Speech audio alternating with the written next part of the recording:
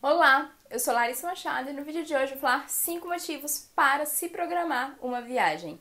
Já se inscreva no canal e ative também as notificações. Planejar uma viagem é uma das coisas que eu mais gosto de fazer antes de uma viagem em si.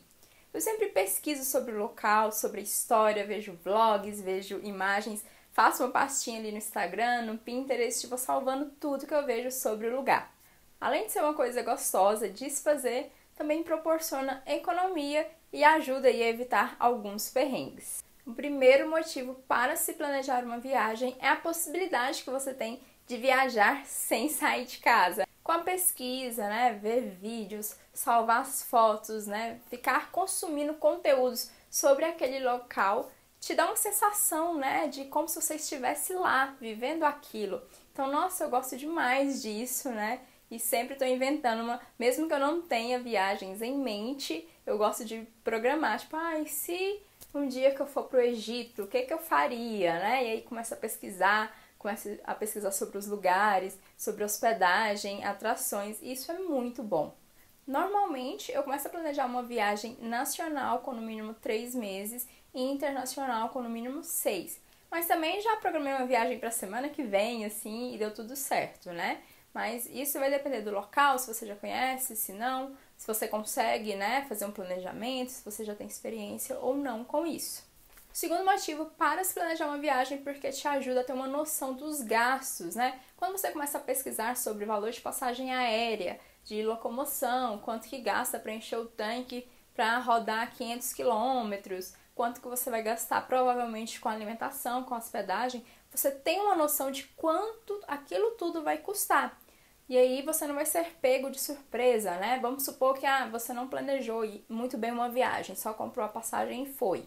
Chegou lá, né, pagou hospedagem, fez uns passeios e tal, usou o cartão. Aquilo ali pode estourar a fatura do cartão e aí sair do seu controle. Por isso é bom planejar, né? Porque você consegue prever quanto aquela viagem vai custar, né? Também tem a documentação, se for viagem internacional. Então tem uma série de fatores, né, que custam dinheiro e que você precisa colocar na ponta do lápis. E aí, dessa forma, a gente vai para o terceiro motivo, que é economia, né? Quando você planeja, você tem a chance de economizar mais, porque aí você vai pesquisar passagem aéreas mais em conta, você vai pesquisar por hospedagens mais em conta, vai negociar passeios, né? Ah, você vai para um lugar, quer fazer um passeio X, então você pode ver quais operadoras, quais agências fazem aquele passeio, qual que é o custo-benefício de cada uma, o que, que compensa mais, o que, que não compensa, uma tem almoço, a outra não tem. Então, quando você pesquisa, você tem a chance de economizar bem mais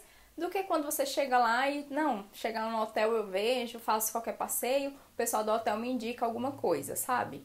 Então, planejar é bom por conta disso também. Quarto motivo é porque otimiza viagens curtas, né? A gente ama viajar, ficar 7 dias, 10 dias no lugar, mas nem sempre isso é possível. E aí, quando uma viagem é curta, a gente precisa escolher uma hospedagem mais central, que dê tempo de fazer várias coisas ao longo do dia, que você não perca tempo ali com locomoção, e aí você consegue fazer o seu roteiro da melhor forma, né? Um roteiro que abrange, né, todos os lugares que você quer conhecer, mas que você não vai ficar perdendo tempo, né, indo de um lugar para o outro. Você pode organizar o seu roteiro por localidade. Ah, no dia 1 um, eu vou ficar aqui no centro, então eu vou fazer tudo que eu quero fazer no centro dessa cidade. No dia 2, eu vou lá para aquela área perto dos jardins e vou fazer todos esses passeios. Então, assim, parece bobeira, mas no dia a dia da viagem, quando você está lá, isso economiza muito tempo e otimiza bastante sua viagem, né? Porque você não precisa ficar, ai, pegando o carro para ir dali e depois voltar, sabe? Ficar rodando o dia todo só perdendo tempo com locomoção. Um roteiro inteligente vai te ajudar a otimizar muito mais o seu tempo. E por fim, o planejamento de viagem, ele evita perrengues. Sim, gente, evita muito.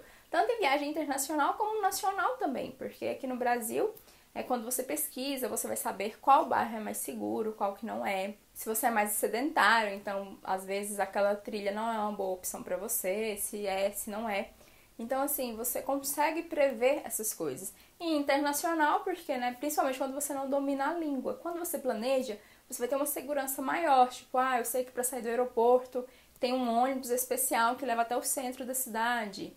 Ah, eu sei que o metrô, né, tem um metrô no aeroporto que leva até o bairro X né? Então, são coisas que a gente pensa assim, ah, chegar lá eu dou conta, mas quando você chega em outro país, quando você não domina a língua é totalmente diferente, você fica assim meio perdida, mas quando você tem tudo planejado fica muito mais fácil. Tá a questão assim do chip, ah não, tudo bem, chega lá, eu compro um chip de internet e me viro.